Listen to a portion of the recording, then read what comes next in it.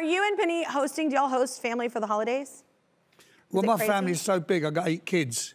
you know, Wow. so the, the the one minute there's two in the house, and there's a two over, over here. Two of them live in Los Angeles. Yeah. Four live in England, and all. We're going to try though. Okay. We're gonna try and get Is that together. nuts? Oh my gosh.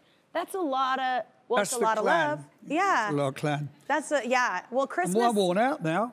Either from being around each other. That's what happens if you haven't got a television. Yeah. so wait, this is this is Rod preparing for the holidays. You posted this, so this is two years ago um, at dinner. You're probably wondering why Rod Stewart is peeling potatoes this Christmas.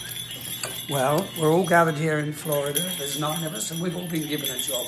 Mine is peeling potatoes. But I really want to thank you all for making this a wonderful Christmas with the new album. Two weeks in the charts at number one. Thank you so much. Merry Christmas. Back to the potatoes. You'd expect that to be shown. I mean, wait, wait. Two things. One, congratulations on the hat. It's remarkable. How did it work? It just kept going on. Did it just constantly, or every time your jaw moves? Like, what was happening? I happening? just had a battery in it. Okay, great. Okay, well, I have so many jokes there. Um, so are are you on always us one of no daytime? Um, um, are you? Oh, I where go did, with- I where did you where steal them from? Yeah. You are a Are you- naughty girl. no. She's no. naughty. No.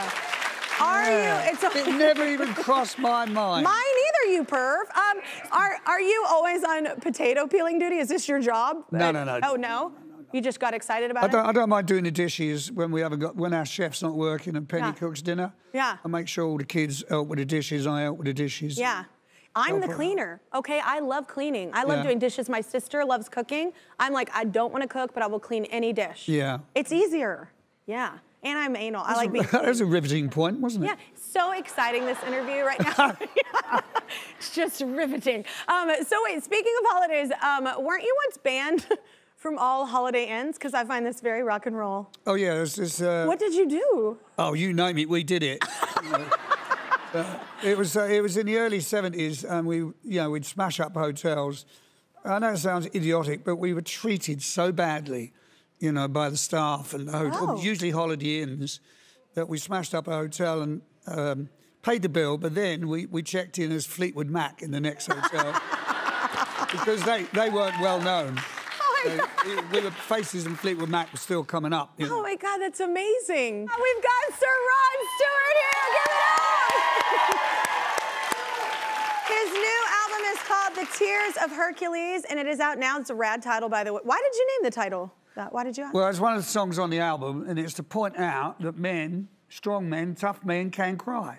Absolutely. Um, well, later you'll be singing a song called One More Time. So what's that about?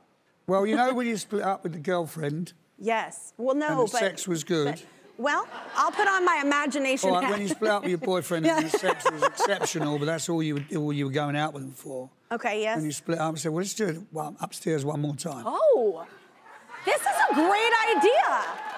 This is a great idea for a song. That's real. You're like, I was there for this, but yeah. Yeah. And then it's kind of fun. Then it's Yeah. like the red button, like you shouldn't yeah, do. shouldn't do. I've never done it myself. Have you? Liar. No, honestly, I haven't. I've never done it. I've never, Never done, it. It's No, no, I've never done more, that. You know, But you. Wait, that was amazing. I want it to be a GIF. Uh, there's a special song on the album though, and it's called Touchline. So what's Yeah. what's this about? Um, well, I've, I've played soccer, football all my life, and I was a pro once. but cut a long story short, my dad, we had, there was three of us, three sons, Yeah. and we all played football, and he was the manager of the team. He was a good player in his day too, so he managed the team, and that's him there. That's amazing, a long time ago. Uh, and he'd pick the team, and he'd be, always be on the touchline, pouring with rain, snow, shouting at us, abuse, and everything like that.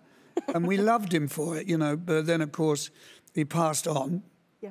And the song's all about how I find myself doing the same thing with my boys on the touchline, watching my sons play football. and hopefully, that when I'm gone, they'll they'll do exactly the same with their sons. Yeah. So it's a, it's a very, it's a manly sort of, sort of song. Well, know. and it's cool though because not all men show up for games for their kids. Yeah, that's, yeah, absolutely, That's yeah. amazing. Yeah. And I think we call it the sideline. So it's the touchline. yeah, touchline in Oh. football, sidelines in your football. Okay, okay, right on. Well, that's all. That's about all I know about sports ball, right there. That's okay, sideline. darling. Let's- let's move on quickly. Let's move on quickly. You're loving this interview. Okay, so this year marks the 50th anniversary of Rod's album. Um, Every picture tells a story, which fe- okay, yes, ma'am. You got a groan. Um, it tells a story which features the hit Maggie May, which everyone knows. Now, I love that song so much. It's an amazing album. Obviously, you got some fans. Um, but I do want to talk about a favorite of mine. And this is not, I told you in the break, this is, I'm on tour. You know, you're always on tour and you're in different cities, mm-hmm. right? Well, I was in mm-hmm. Seattle and they usually have really great record stores there, like vinyl. And I've always loved vinyl, like since I was a kid. It's like the one thing that was passed down to me, my family, from my grandmother. So I love vinyl. And I was in this store and I found It's Never a Dull Moment. It's your record. And I think it's from like the 70s, but it had, I noticed, and when I picked it up, I was like, oh, I love Rod Stewart. And then I was like, oh, he covered I'd Rather Go Blind. I love that song. And then it turns out it's literally one of my favorite covers of any song that anyone's ever done. Not just your voice, the production, like whoever put that together, it it is so tasteful and so beautiful. And I'm wondering because it wasn't like full of them. So why did you pick that song for that? that Um, record? well, uh, Etta James did it first. yes, yeah. And then the girl out of Fleetwood Mac did it, but it wasn't a big hit. Um, what's her name? Stevie, oh, not Stevie Nicks. I do one. know Stevie Nicks. Oh, you mean um, um, um uh, she wrote one. Songbird. Um, yep, I'm blanking. Yeah, me um, too. Anybody know? Not Stevie, the other girl. Christine. Rich, yeah, yes, yes, Christine yes, yes, McVie, yes, she yes. did it, and I heard her do it, so I decided to do it. But, Yeah. uh, and it was an afterthought. I was in the studio with Ronnie Wood. You know Ronnie is, don't you, with the Stones? And we had nothing to do, and we said, let's have a go Rather Go Blind. We had three bottles of wine, and we did it in two takes. Okay, I was Two I was literally going to ask you if that's what I feel like. The two things I love from my career, it was literally just like so easy. It Yeah. flowed so easily. We didn't Yeah. work at it. It wasn't overproduced. Yeah. And it was just like the moment. That's what it sounds like. Yeah, that's how it was. And people love it. Really so love it. lesson learned. I just gotta have two bottles of wine, and record some music, and it'll be magical. So is it is it true that you and Ronnie are back in the studio? You were just talking about Ronnie Wood too. Are y'all yeah, back? in yeah. Ronnie's been spending a lot of time digging up um, a lot of old faces stuff from the early 70s. Yeah. And we're putting it all back together. It was about 60 odd tracks. Wow. So and I said, Ronnie, don't think I can't sing in the same key as I- you, you know. Change the key. You- Yeah. we- we- you- I suppose we could, yeah, but that'd be cheating, wouldn't it? No. Because you have to re-record it again. No, God, and my female time of the month, I lower those songs. My vocal cords are doing different Well, things. no, but songs. That, have you found any you did in the 70s? Nope, I was not a No, thought you weren't a singer then, were you? I was born in Ah, I 82. wish I was dead. Nope. I'm still jet lagged. No, no, but I would have been amazing in the 70s. I feel like I missed my time. Mm. Um, might I suggest, though, wine? Because y'all did really well with wine before you and Ronnie. Yeah. So might I suggest some wine? Good idea. Maybe you'll hit some notes again there.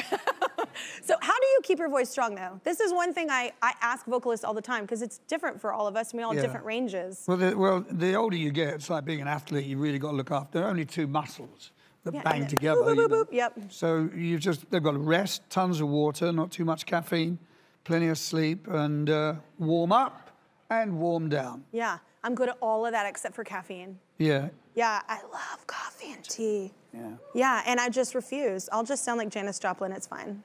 Jan, what Yeah. a singer she was. Exactly. It was And quite she a used career. to chase me and Ronnie around the room trying to get into our trousers. She was trying to get, she's trying to get one more time. Yeah. Or was there ever a first?